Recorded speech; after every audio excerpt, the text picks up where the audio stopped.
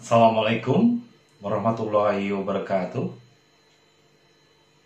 Kembali lagi bertemu dengan saya Herman Jambek dari Sukabumi. Tapi sebelumnya seperti biasa, yuk kita mari ngopi. Mari kita ngopi, ngobrol perihal iman, ngobrol perihal Islam. Luar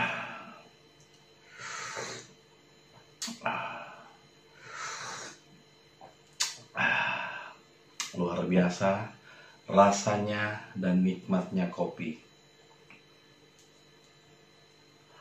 Rasa nikmat harus dinikmati dengan rasa.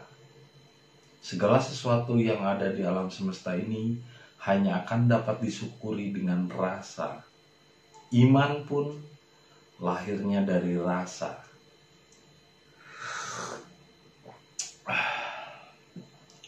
Kali ini saya akan membahas tentang Tuhan itu tidak ada. Tuhan itu tidak ada. Mungkin pernyataan ini sedikit akan membuat heboh dan kaget. Ya, pasti. Tapi itulah kenyataan.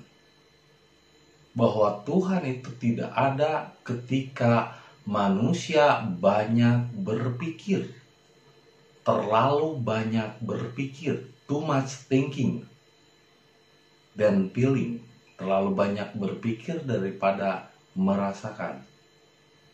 Ini kenyataan yang terjadi pada saat, ini.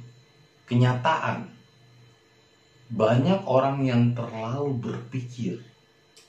Justru ketika kita terlalu banyak berpikir, maka eksistensi Tuhan tidak akan ada. Eksistensi Tuhan hanya ada ketika manusia bersyukur. Bersyukur bukan dengan pikiran. Bersyukur bukan dengan ucapan ketika mendapat rezeki alhamdulillah saya dapat uang. Bukan ucapan. Bersyukur ketika kita mendapat rezeki berbagi dengan orang lain. Walaupun terkadang pikiran suka menghitung-hitung oh jangan dah ngasih ke situ mah dia udah punya duit. Jangan dah ngasih ke situ mah nggak ada gunanya nanti. Terus uang saya nanti habis berkurang. Pikiran justru selalu memblokir rasa syukur Pikiran selalu memblokir tindakan-tindakan yang dirasa benar, kadang diblokir oleh pikiran. Artinya, Tuhan tidak akan ada ketika manusia banyak berpikir. Dan saking berpikirnya terus dengan logika, akhirnya dia akan terus mempertanyakan Tuhan dengan logikanya. Hei, Tuhan tidak bisa dijangkau oleh logika. Tuhan tidak bisa dijangkau oleh pikiran. Tuhan justru tidak akan dirasakan eksistensi keberadaannya kalau kalian banyak berpikir. Jadi Tuhan tidak ada kalau kalian banyak berpikir. Itulah yang dilakukan oleh Hidir kepada Musa jika kamu ingin belajar tentang ketuhanan, satu syaratku, jangan banyak bertanya. Kenapa waktu itu Hidir memberi satu alasan, memberi satu syarat untuk tidak bertanya? Karena bertanya itu menggunakan logika, bertanya itu menggunakan pikiran. Orang yang banyak bertanya adalah orang yang selalu berpikir, mencari jawaban dengan pikiran. Sedangkan tentang ketuhanan tidak bisa dijawab dengan pikiran dan tidak akan terjangkau oleh pikiran. Jadi kalau seandainya dikatakan Tuhan ada, mana? Coba lihat oleh pikiranmu. Adakah Tuhan? Pernahkah Anda melihat Tuhan? Oh, saya tidak pernah melihat Tuhan. Hanya melihat ciptaannya timbullah akhirnya dalam logika bahwa alam semesta dan segala isinya pun terjadi dengan sendirinya. Tapi Tuhan tidak ada. Di zaman dulu, ini cerita atau dongeng, ada seorang ateis yang sangat hebat dalam berdebat. Semua orang Islam kalah waktu itu. Di kalau nggak salah di Persia. Ya, di Persia itu sekarang yang disebut Iran, Iran, Iran kuno. Nah, dia hebat dalam berdebat. Semua orang-orang Islam pun kalah saat itu. Akhirnya ada orang yang soleh yang jauh dari kota Persia. Ini kan di kota, tengah kota Persia. Nah ada seorang ulama yang jauh dan tinggal menyendiri di luar pulau itu dan harus menyeberang ke sungai dulu. Lalu ketika semua ulama yang ada di Persia kalah debat dan hampir masuk menjadi ateis karena segala sesuatu harus dengan logika berpikir. Akhirnya terbawa cara berpikir yang logika oh benar Tuhan itu tidak ada. Semesta ini terjadi dengan sendirinya. Karena saya tidak pernah melihat Tuhan wujudnya dan sosoknya. Karena pikiran ini membutuhkan sosok membutuhkan realita membutuhkan wujud membutuhkan benda. Akhirnya ulama yang terpepet itu berinisiatif untuk memanggil ulama penyendiri yang tinggal di seberang pulau. Nah, ulama itu menyanggupi untuk datang berdakwah dan ditent, uh, ber, berdialog gitu, Islam berdebat. Ditentukan hari Sabtu jam 9. Jam 9 siang. Nah, ketika hari Sabtunya jutaan orang sudah berkerumun di tengah kota, disaksikan oleh raja, gubernur, dan semua orang-orang penting di negeri itu. Kalau ulama itu kalah dalam berdebat tentang ketuhanan, menunjukkan adanya Tuhan dan eksistensi Tuhan, maka orang ateis itu berkata saya yang akan masuk Islam. Dan saya, e, kalau seandainya orang Islam ulama terakhir itu yang berdebat kalah, maka dia yang harus menjadi ateis. Ini jelas suatu permundian yang bergejolak. Dan hampir semua orang-orang di situ berubah haluan ke ateis. Nah, ketika terjadi pada waktunya, hari Sabtu jam 9 ditungguin dan semua orang sudah resah. Sampai jam 9, uh, jam 9 siang nggak ada juga. Ditunggu lagi satu jam, belum ada juga sampai jam 10. Akhirnya jam 11 sampai akhirnya mau menuju duhur jam 12. Tidak datang juga. Padahal ulama itu sudah ada di situ dan memperhatikan ketika tidak belum datang juga si ateis itu mulai berbicara dan berteori tentang Tuhan. Tuhan itu tidak ada. Karena menurut logika saya begini-begini dan hampir semua orang akhirnya mengikuti logika dan cara berpikir seorang ateis itu. Sampai suatu saat akhirnya ketika hampir jam 12 dia mau pergi, muncullah ulama itu di tengah kerumunan dan datang menghampiri ke panggung. Tapi ateis itu bilang, ini sudah terlambat. Kamu tidak mungkin bisa menjawabnya. Maafkan Tuhan atas keterlambatan saya, kata seorang ulama itu. Karena perjalanan saya dari rumah ke sini sangatlah jauh. Uh, saya tidak bisa memberi toleran itu karena saya sudah menentukan jam 9 untuk berdebat bahwa semua alam semesta terjadi dengan sendirinya. Tidak ada yang menciptakan. Lalu kenapa engkau datang terlambat? Bolehkah saya menjelaskan alasannya? Ketika jam 9 sebelum datang ke sini, saya temui katanya ternyata perahu yang biasa saya pakai untuk seberang terhanyut dan rusak terhantam badai. Akhirnya saya bingung, mau menyeberang banyak buaya dan hewan buas, banyak ikan-ikan yang buas. Tapi saya harus memenuhi panggilan ini. Dalam ketermenungan ini saya memohon kepada Tuhan. Bagaimana saya supaya menyeberang? Saya memohon kepada Tuhan. Lalu tiba-tiba ada apa ada petir menyambar sebuah pohon yang ada di samping saya di sebelah sana, pohon besar. Terus tiba-tiba eh, ketika pohon itu jatuh dan tumbang, tiba-tiba dia berubah menjadi perahu sampan. Lalu tiba-tiba dari daun-daun dan dahannya itu berubah menjadi kayunya. Dari situ saya akhirnya naik ke perahu itu dan dengan mendayuh menggunakan layar daun-daun yang dari perahu yang tersambar petir itu akhirnya saya sampai di sini. Dan dari situ saya semakin yakin bahwa Tuhan itu ada. Tiba-tiba seorang ateis berkata, Hei, saksikan orang bodoh ini katanya. Udah terlambat datang ke sini.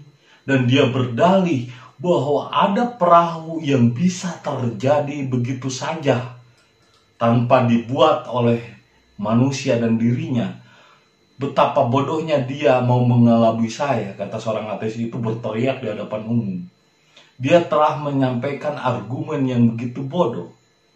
Lalu ulama itu bilang, kalau seandainya perahu yang kecil saja tidak mungkin dibuat dan terjadi begitu saja, tan uh, dibuat oleh alam begitu saja tanpa ada andil tangan manusia kata ulama. Bagaimana mungkin alam yang sebesar ini semesta yang begitu luas gugusannya yang tak terhingga bisa dibuat tanpa andil Tuhan? Akhirnya si ateis pun terdiam.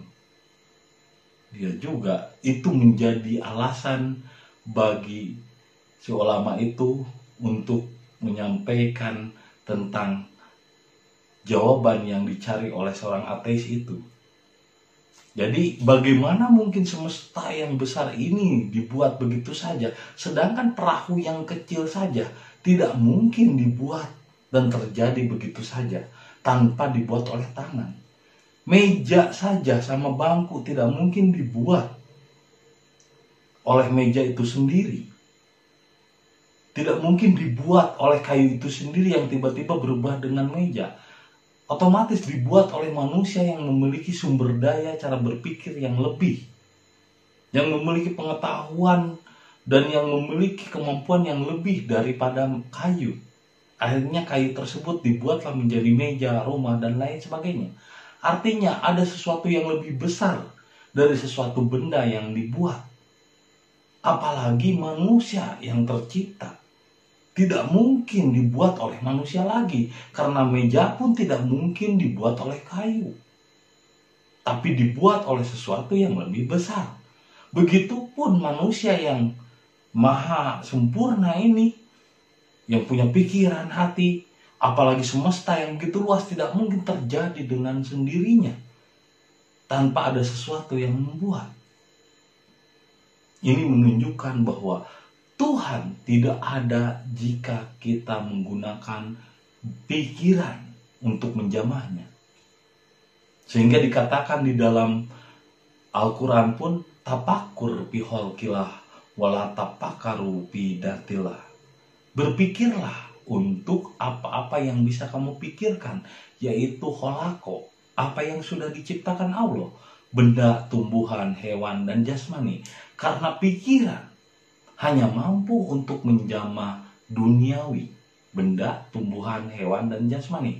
Pikiran hanya bisa menjamah dunia.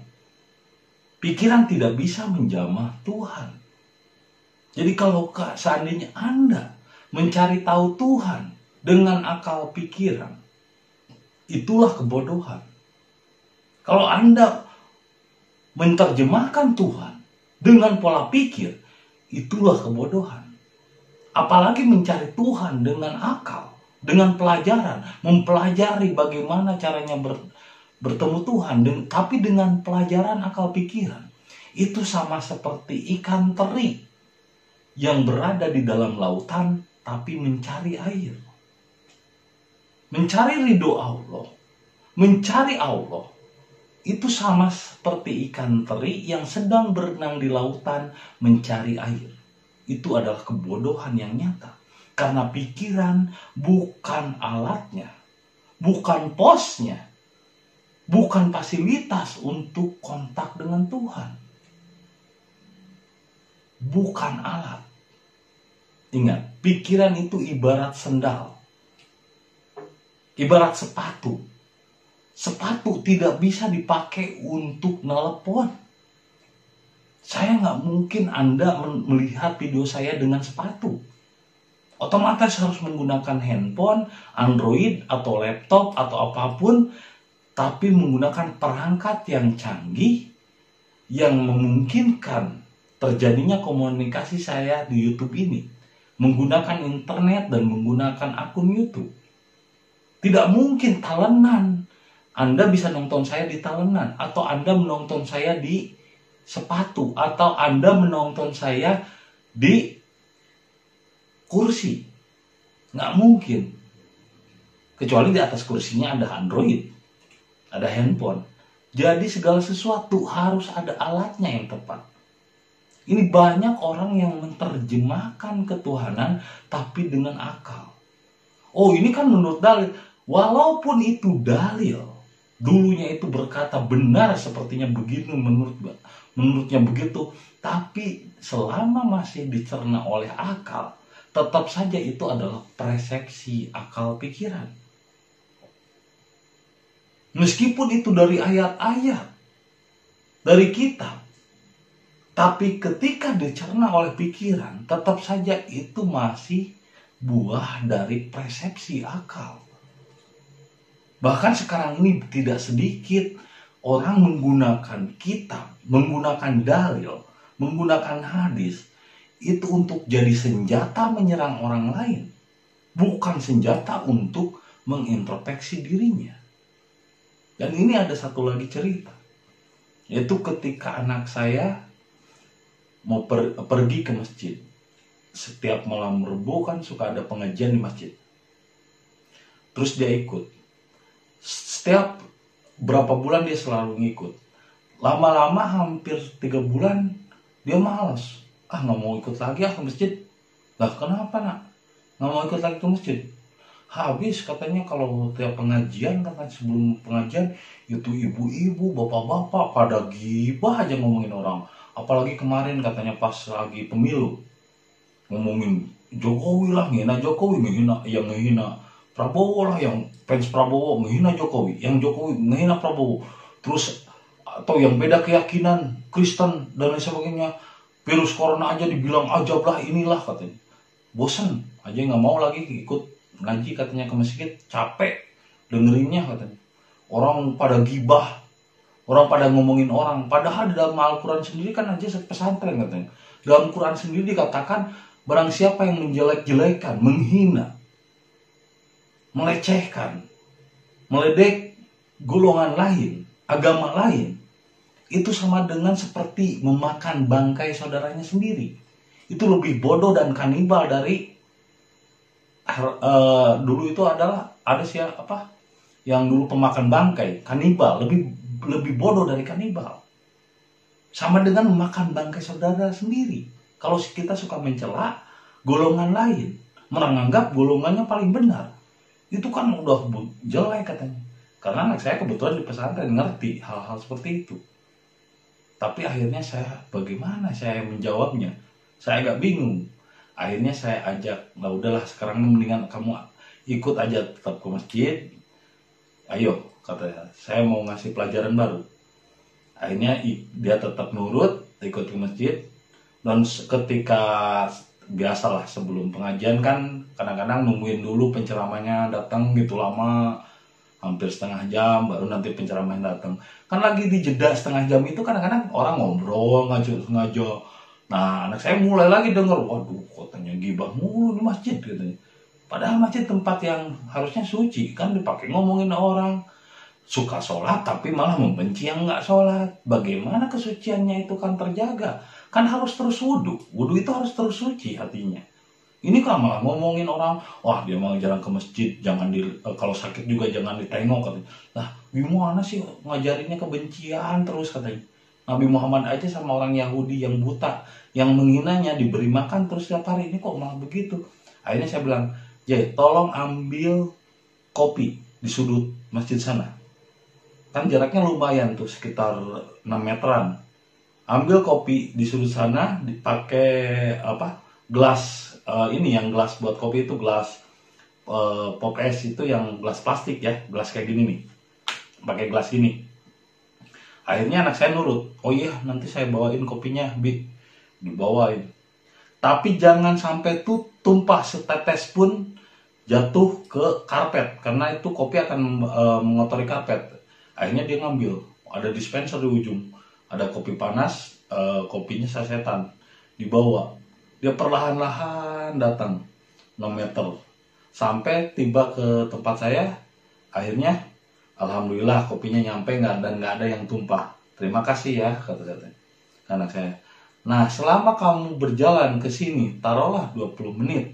Kamu berjalan dari sudut masjid sana sampai ke Abi kata kata apakah kamu mendengar ucapan-ucapan orang lain tidak bi. Karena saya fokus kepada gelas ini. Kepada air yang ada di gelas ini takut jatuh. Akhirnya saya nggak mendengar pembincangan orang lain. Lagi apa? Itulah Islam. Seharusnya seperti itulah Islam. Jadi Islam itu lebih fokus memperbaiki diri. Fokus kepada diri kita. Bukan mendengarkan apa pun ocehan orang nah, kalau kita mendengarkan ocehan orang pikiran kita pecah gejolak kita panas. Karena kita selalu menilai dan selalu mendengarkan apa kata orang. Jadi Islam itu harusnya adalah berserah diri kepada Allah, introspeksi diri, fokus kepada diri. Bukan memikirkan apa pun yang dibicarakan orang lain. Lebih baik kita fokus kepada diri. Karena ketika anak saya membawa air kopi itu, walaupun jaraknya cuma 6 meter, selama 20 menit, dia tidak pernah memikirkan hal-hal di luar dirinya. Dia akan fokus kepada air kopinya itu agar tidak tumpah. Maka dia tidak mendengar apa pun yang dibincangkan oleh orang lain di sekitarnya. Nah, kenapa kita bergejolak? Hati kita panas, kita cepat emosi karena kita terlalu banyak mendengar ocehan orang. Karena kita tidak fokus pada diri sendiri. Padahal Islam itu mengajarkan agar fokus kepada diri Hasibu angpusakum kobla antu hasibu. Hisablah dirimu sebelum dirimu sendiri sebelum menghisap orang lain. Bacalah dirimu sendiri sebelum membaca orang lain. Bahkan ketika wahyu pertama turun kepada Nabi Muhammad, perintah ikro itu adalah ikro sekali, ikro kedua kali, ikro ketiga kali adalah ikro kita bakal kapa binapsika Bacalah kitab yang ada di dalam dirimu. Hisablah dirimu sendiri. Jadi yang disebut Al-Quran yang sejati adalah membaca diri. Bukan membaca orang lain. Bukan memikirkan orang lain. Ketika kita banyak memikirkan orang lain, maka di situ hidup kita tidak menjadi diri kita sendiri. Di situlah kita terpengaruh oleh lingkungan. Orang yang beriman bukanlah orang yang terpengaruh oleh lingkungan, tapi justru dia yang harus memberi pengaruh kepada lingkungannya. Dia berbuat baik dan memberi pengaruh baik kepada lingkungannya, bukan lingkungan yang buruk memberi pengaruh buruk kepada dirinya. Apa pun yang terjadi di luar diri kita tidak akan mempengaruhi dirinya. Itulah mutiara. Itulah berlian. Karena mutiara atau berlian, meskipun berada di tempat sampah, Meskipun berada di tempat yang kotor, tapi dia tetap akan berlian. Dia tetap akan mutiara. Tidak berubah menjadi batu. Tidak berubah menjadi batu koral. Atau batu-batu murahan. Dia tetap berlian. Mutiara, meskipun berada dalam tumpukan sampah atau di dalam lumpur yang kotor, dia tetap mutiara. Tidak menjadi lumpur itu yang saya maksud dengan Islam. Islam itu adalah berserah diri kepada Allah dan menjadi diri sendiri, bukan ikut-ikutan apa kata orang. Jadi, cobalah untuk fokus kepada diri dan jangan pernah mencari tahu Tuhan dengan akal pikiran. Apa pun persepsimu tentang Tuhan, bukan tentang Tuhan sebetulnya. Itu hanya persepsi angan-angan. menurut angan-angan. Meskipun itu dulunya dari kitab, dari katanya.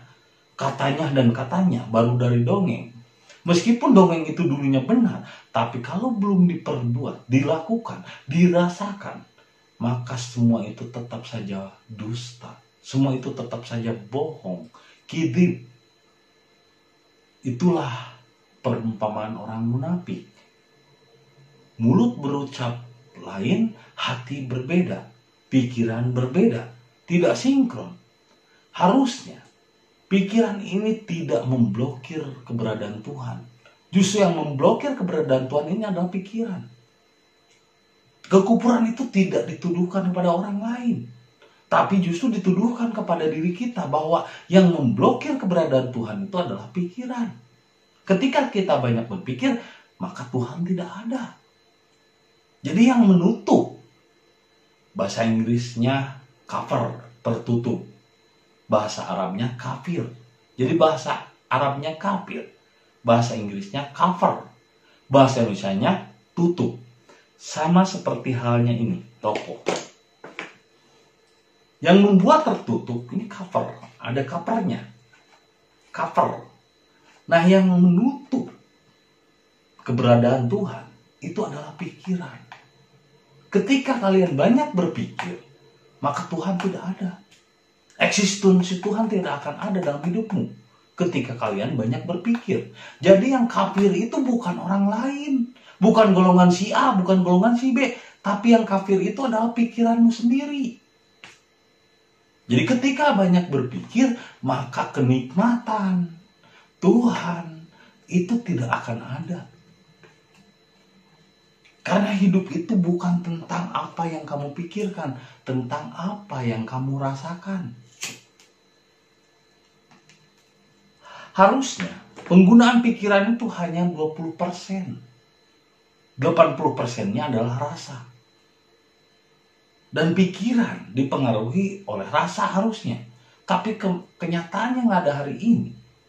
Penggunaan rasa hanya 20%. Dan dia didominasi hidupnya oleh pikiran. Kalau benar-benar dia kontak dengan Tuhan, keberadaan Tuhan itu ada. Kalau dia benar-benar yakin Tuhan itu ada, harusnya kontak dengan Tuhan. Kontak itu bahasa Inggris. Bahasa Indonesia-nya hubungan. Bahasa Arabnya sholat. Jadi sholat itu kontak.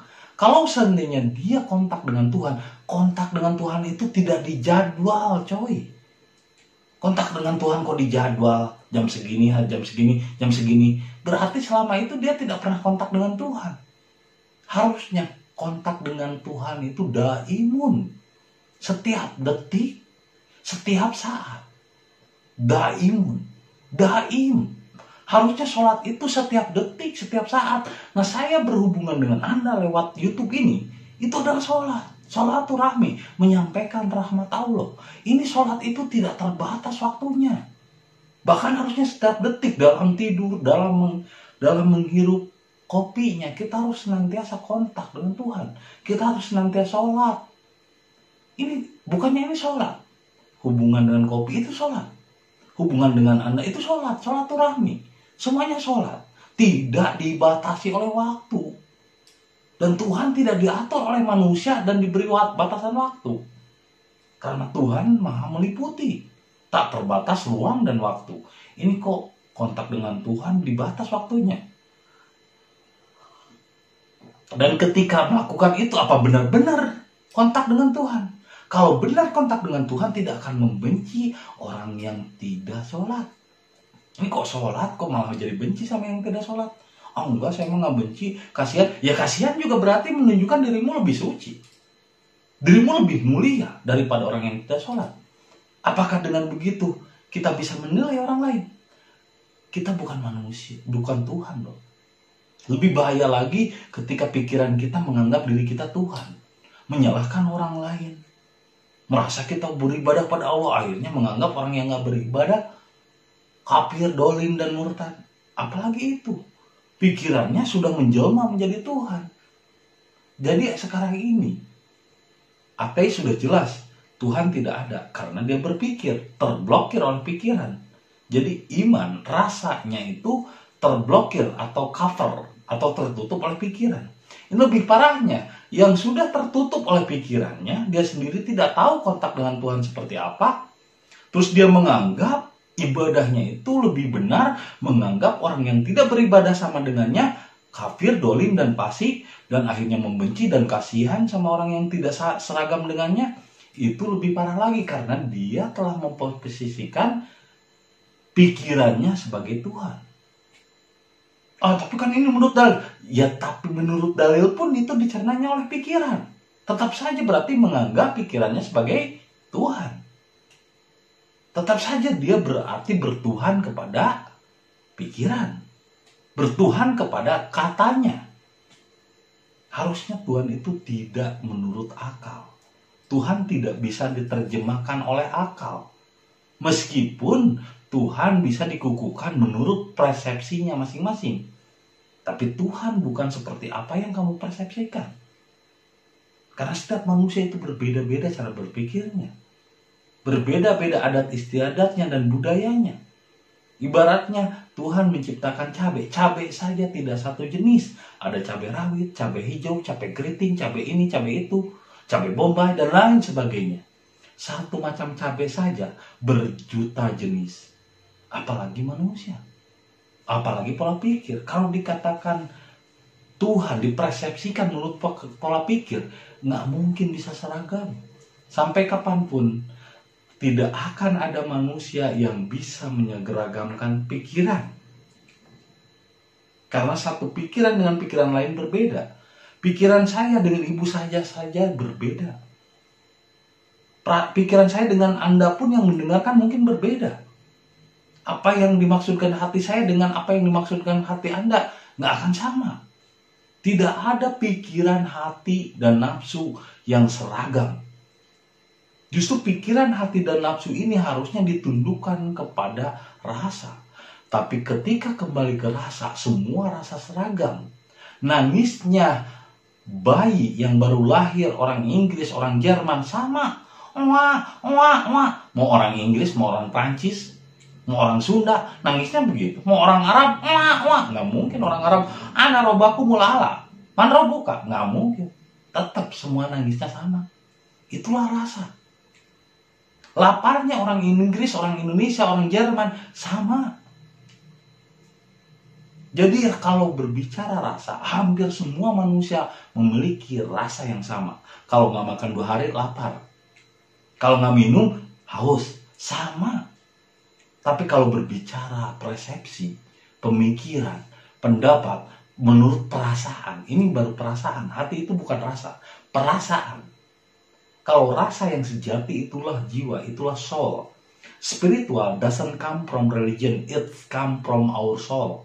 Spiritual itu tidak datang dari agama, tapi datang dari jiwa. Datang dari ruh. Dan semua ruh itu sama.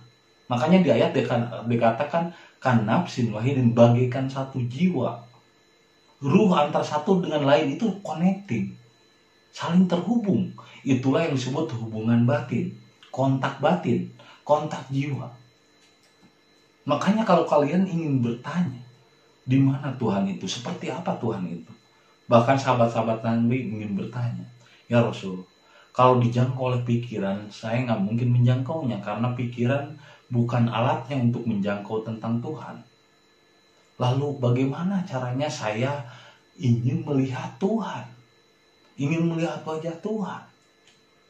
Saya ingin tahu bagaimana ketika Tuhan tersenyum kepada saya. Seperti apa Tuhan tersenyum kepada saya? Dan bagaimana ketika Tuhan marah kepada saya? Seperti apa Tuhan itu marah kepada saya?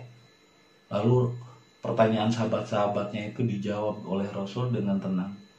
Kalau kamu ingin melihat Tuhan Allah tersenyum kepadamu, maka lihatlah senyum di ibumu. Dan kalau kamu ingin melihat Tuhan sedang bersedih, maka lihatlah kesedihan dan air mata yang ada di ibumu. Karena kamu lahir dari ibumu. Itulah Tuhan yang nyata. Orang tuamu itu adalah Tuhan yang nyata. Barang siapa anak yang durhaka sama orang tuanya, maka dia akan durhaka sama Allah. Karena yang disebut Baitullah, rumah Allah, semesta ini Baitullah. Tuhan menciptakan alam semesta ini sebagai perantara. Kucing, hewan, benda, tubuh kita juga Baitullah.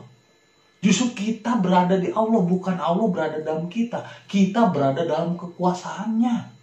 Bahkan daun yang jatuh pun Allah tahu. Daun kering yang jatuh ke tanah pun Allah tahu.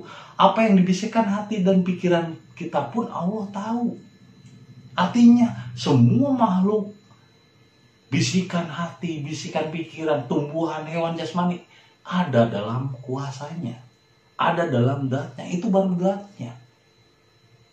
Jadi kalau seandainya kita berpikir Tuhan di sana terpisah, itu bodoh.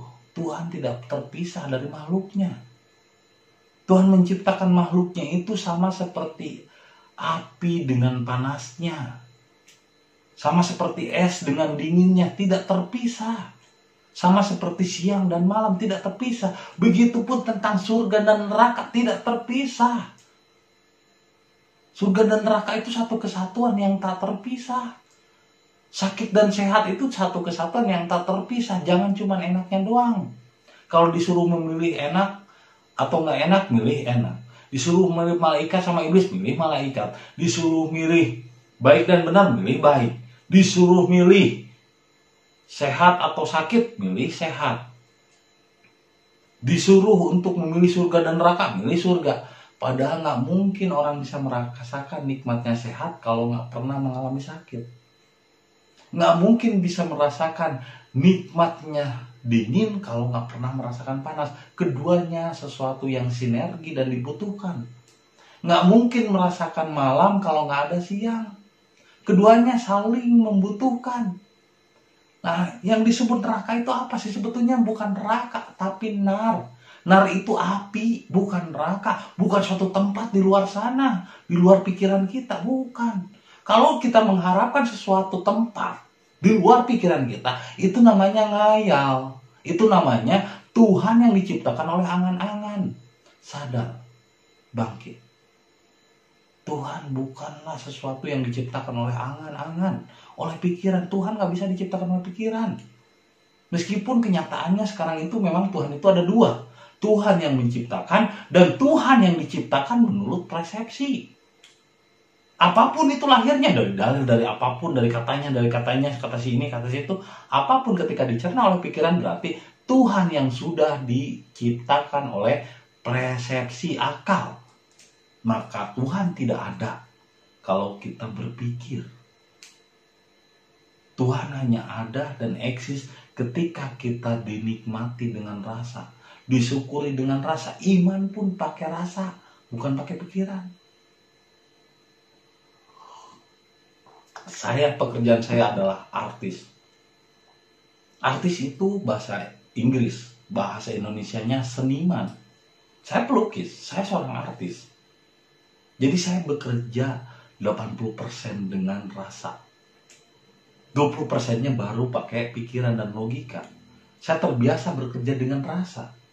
Sehingga saya bisa merasakan bahwa melukis itu mengalir, tidak dipikirkan ketika saya berpikir ah nanti saya mau buat inilah lukisannya konsepnya begini.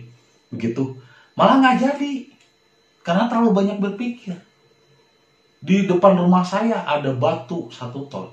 Mau dipindahkan ke belakang mau dibikin pondasi di belakang rumah saya. Saya pikirkan waduh ini batu gede-gede buat pondasi. Dibawa pakai uh, rancatan istilahnya Sunda kan tanggungan gini yang pakai buat ini. Waduh berat ini ah pakai roda aja. Waduh nanti rodanya nggak kuat ya. Terus ah pakai apa ya? Roda nggak ada lagi. Karung ah karung nanti nusuk ke belakang punggung saya. Dipikirkan terus tekniknya caranya bagaimana memindahkan batu itu ke belakang rumah. Akhirnya sampai sore batu itu tidak pernah pindah. Kenapa? Terlalu banyak dipikirkan. Tapi ketika saya waduh batunya banyak nih satu dua ton. Ayo udah segera walaupun satu-satu walaupun satu-satu di sama tangan dia pindahin batunya satu dibawa ke belakang. Dua tiga empat capek minum dulu ngambil lagi. Itu sampai sore habis. Bisa jadi dua tahun itu pindah dengan pindah. Karena apa? Karena kita tidak banyak berpikir tapi banyak bekerja. Begitulah harusnya Islam. Tidak banyak berpikir. Ketika kita banyak berpikir wah Tuhan itu begini begitu dipelajari hilang makin hilang makin jauh dari Tuhan. Dikir Allah ya latif ya latif ya latif. Allah Allah Allah Allah. Lah memang di mana Tuhan itu kok dipanggil panggil? Jauh ya. Nah, kan Tuhan itu satu kesatuan udah meliputi diri kita. Ibaratnya saya dengan anda sedang ngobrol berduaan berhadapan bertatap muka. Misalnya nama anda Dedi. Hey Ded padahal lagi ngobrol hey Ded Ded hey Ded hey Ded hey Ded lama-lama sih Dedi kesal kan tampar juga nih orang ngomong aja manggil terus tiap uh, tiap hari manggilin saya terus padahal lagi berhadapan Nah, kita berhadapan dengan Allah. Kita meliputi. Allah, eh, Allah meliputi kita semua. Kita berada di dalam liputannya Allah. Lah kita masih panggil-panggil. Berarti nggak kenal. Kalau masih dipanggil-panggil. Dan dalam sihir pun, dalam dunia mistik pun, kalau yang masih baca-baca mantra itu adalah yang kacangan. Yang, yang gak hebat. Dalam dunia mistik pun kalau yang orang master itu nggak perlu lagi baca uh, apa mantra-mantra kayak gitu. Untuk apa baca mantra? Kan udah meliputi dengan energi diri. Jadi janganlah tertipu oleh persepsi akal. Tuhan tidak bisa dijamah oleh akal. Tuhan tidak ada ketika kalian banyak berpikir. Tuhan hanya akan ada ketika kalian bersyukur dinikmati apa pun yang ada hari ini. Jangan terlalu memikirkan apa yang akan terjadi besok. Jangan pernah memikirkan orang lain. Tidak ada yang bisa mengubah seorang pun, nasib seseorang pun, kita tidak bisa mengubah siapa pun. Kita hanya bisa mengubah diri kita sendiri. Tidak ada orang yang berhak untuk mengubah orang lain dan menceramahi orang lain. Ini bukan tentang menceramahi, ini mengingatkan saya tidak bisa mengubah diri Anda. Kecuali Anda sendiri yang harus mengubahnya. Janganlah mencari Tuhan dengan akal pikiran. Tuhan tidak akan bisa kau sentuh dengan akal. Tuhan tidak ada kalau kalian banyak berpikir. Nikmati, rasakan, dan apa pun yang ada di hadapanmu, nikmati. Seperti ini, kopi. Ketika otak perlu inspirasi Pabi ayin nikmatullahi kadibun. Nikmat manakah yang kau dustakan? Quran banyak berbicara tentang nikmat. Quran berbicara tentang rasa, bukan logika. Berhentilah berlogika tentang Tuhan. Berhentilah berbicara menurut logika pikiranmu Tuhan tidak bisa dijamah oleh pikiran. Tapakur piholkilah, wala tapakaru pidatilah. Pikiran posnya untuk apa-apa yang telah diciptakan. Pikiran posnya hanya untuk duniawi. Tempatnya pikiran hanya untuk memikirkan dunia, memikirkan uang, perempuan, rumah, mobil, hal-hal yang bersifat dunia baru pikiran tempatnya tapi kalau untuk tentang ketuhanan, jangan kalian berpikir tentang Tuhan. Ketika kalian berpikir banyak tentang Tuhan, maka Tuhan semakin menjauh dari diri Anda. Tuhan tidak ada ketika kalian banyak berpikir. Itu saja hikmah dari video yang saya ingin saya sampaikan agar kita terbuka pikiran kita bahwa Tuhan tidak bisa dijamah oleh pikiran. Semoga videonya menginspirasi dan membuat kita kembali kepada sadar diri dan lebih banyak introspeksi diri dan mengkaji diri. Karena tujuannya manusia hidup adalah membaca diri bukan membaca orang lain. Terima kasih atas kesetiaannya menonton video saya. Assalamualaikum warahmatullahi wabarakatuh.